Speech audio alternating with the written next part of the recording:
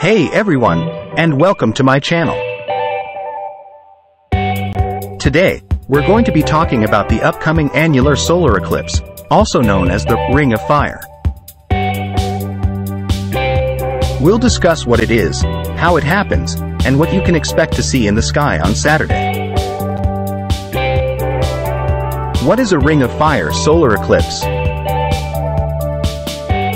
A ring of fire solar eclipse occurs when the moon passes between the Earth and the Sun, but the moon is too small to completely cover the Sun's disk. This leaves a ring of sunlight visible around the moon. How does a ring of fire solar eclipse happen?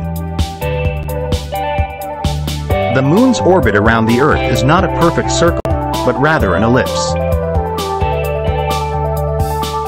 This means that the moon's distance from the Earth varies throughout its orbit. When the moon is at its farthest point from the Earth, it appears smaller in the sky. This is when a ring of fire solar eclipse can occur. How can I safely watch the ring of fire solar eclipse? It is important to never look directly at the sun, even during a solar eclipse. Doing so can cause serious eye damage. To safely watch the Ring of Fire solar eclipse, you can use special eclipse glasses or a solar filter.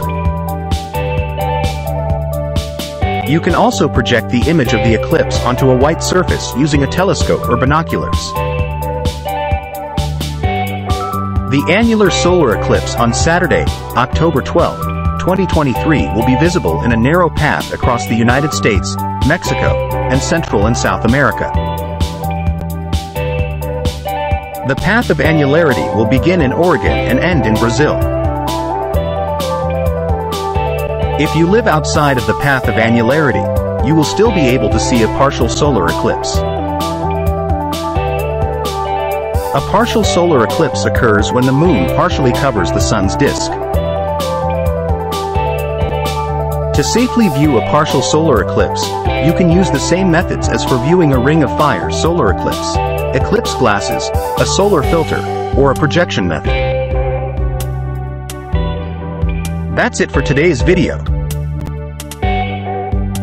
I hope you learned something about the Ring of Fire solar eclipse.